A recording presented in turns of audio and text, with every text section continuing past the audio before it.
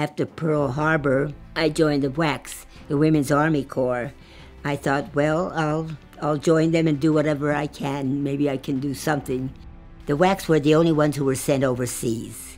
So next thing I found, I was in the uh, Signal Corps Supply Division. It was top secret. We were to see that for D-Day, whenever it was, and we didn't know where it was going to be, but to see that every GI had all the equipment that he needs for D-Day plus D plus one up to D plus 30 days.